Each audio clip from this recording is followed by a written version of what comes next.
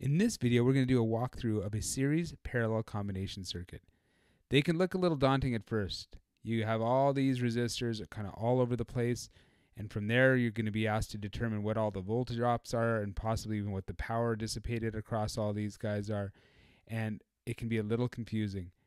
If you follow what I like to call the accordion method though, it's actually quite simple. All you have to do is you're squishing a bunch of resistors together, then you're squishing them into there, and you're squishing those resistors together, and you're squishing them into there, and you're squishing those resistors in together, and getting a total circuit resistance.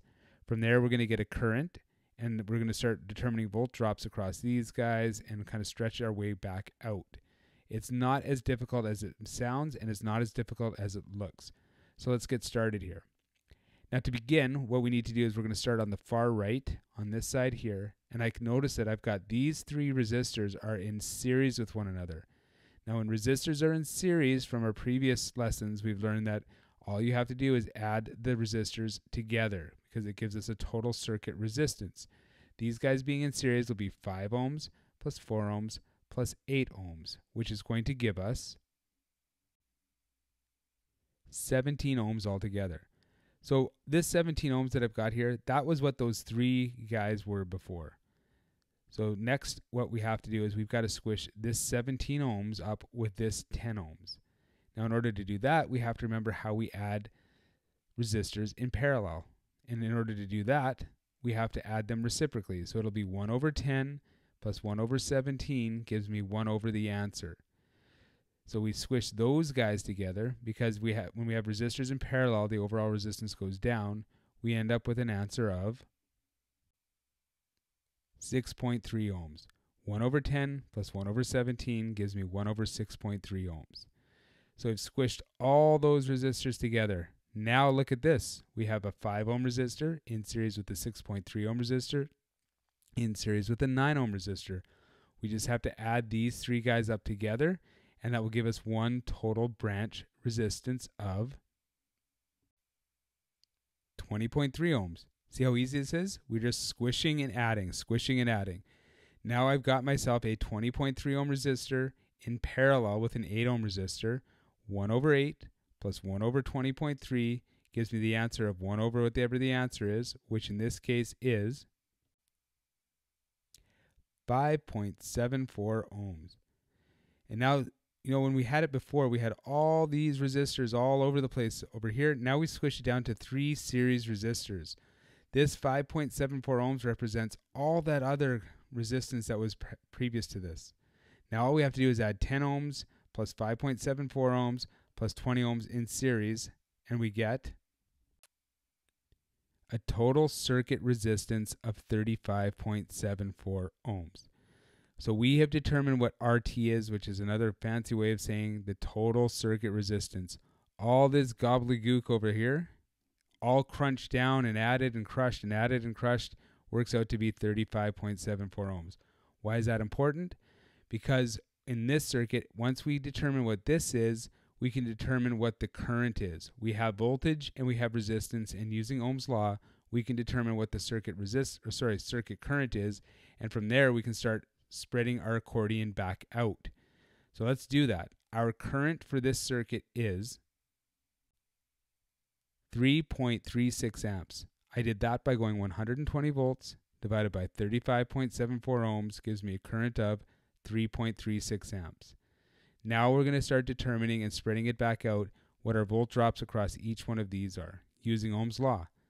3.36 amps times 10, 3.36 amps times 5.74, 3.36 amps times 20. That gives us volt drops of 33.6 volts on this guy, 3.36 times 10, 19.29 volts on this guy, 3.36 times 5.74, and 62. sorry, 67.2 volts because that is 3.36 times 20 ohms or it's double what this is because that's a 10 ohm resistor, that's 20 ohm resistor. Now we have determined that this guy over here is 19.29 volts.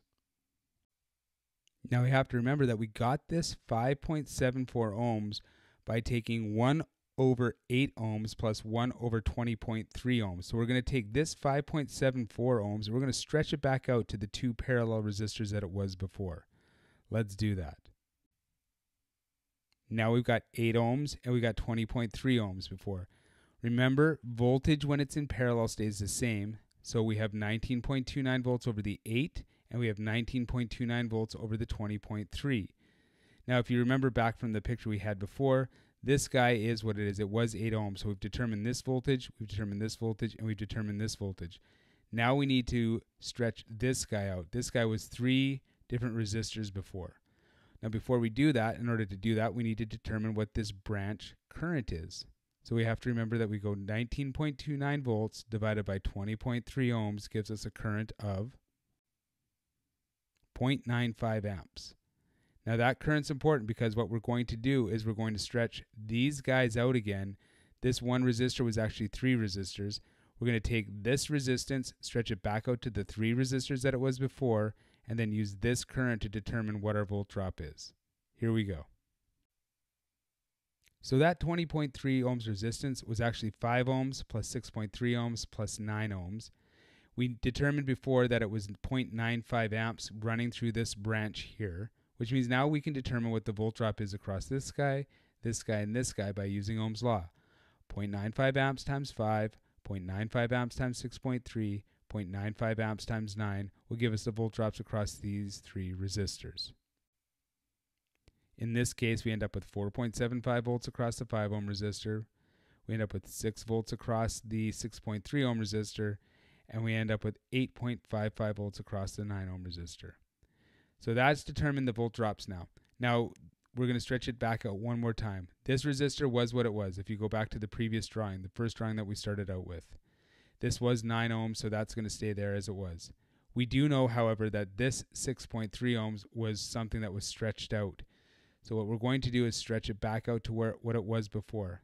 This 6.3 ohms was 1 over something plus 1 over something gave us 1 over 6.3. We've now determined that it is 6 volts. Let's stretch that out. So we have a 1 over 10 plus 1 over 17 gave us 1 over 6.3 from before. We know that that voltage was 6 volts that was over that one that sorry that 6.3 ohms.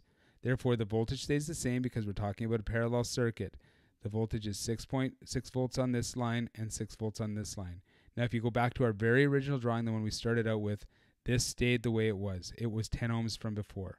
Now over on this leg here we have 17 ohms. This 17 ohms was actually three resistors in parallel, sorry, in series together. So this resistor plus this resistor plus this resistor give us 17 ohms. So what we're going to do now is determine what the branch current is because we need that as we saw from before. We're going to go 6 volts divided by 17 ohms and we're going to get the branch current flowing through here. That branch current is 0.353 amps or 353 milliamps. So we know that this branch here has 353 milliamps running through it. We know that this branch contained a total of 17 ohms. Let's break them down to their individual resistances, those three resistors that equaled 17 ohms. In this case, we had 5 ohms plus 4 ohms plus 8 ohms gave us a 17 ohms. Now we're on the home stretch. All we have to do is take this current times each resistance because it's a series circuit and in a series circuit the current remains the same and we'll get our volt drop across each of these resistors. 353 milliamps or 0.353 amps times 5 ohms gives us 1.77 volts. 353 milliamps times 4 ohms gives us 1.41 volts. And 353 milliamps times 8 ohms gives us 2.82 volts. We are done. We have determined exactly what the volt drop across each resistor is. So just to recap, again, all we have to do is add these three resistors to get a total resistance, squish it with this guy, add these three resistors, squish it with this guy, add these three resistors, get a circuit current, get this voltage, this voltage, this voltage, spread it out, determine what this guy's current was, then determine the volt drops across each one of those and just keep spreading it out and spreading it out until you get your volt drops. What I would suggest is drawing out each one of these steps and just walking through it step by step as it was drawn out. And that will help you determine, just practice as you go, what each volt drop will be. Now, if somebody asks you what the power dissipated across each one of these resistors are, all you would have to do is go E squared over R to get that. E squared over R to get that. E squared over R to get that. That will give you individual powers across every single one of them using the E squared over. And then the nice thing about power is if we added up all of our powers together, whether in their series or in parallel, you would have your power total. And that is how you solve a combination series parallel circuit.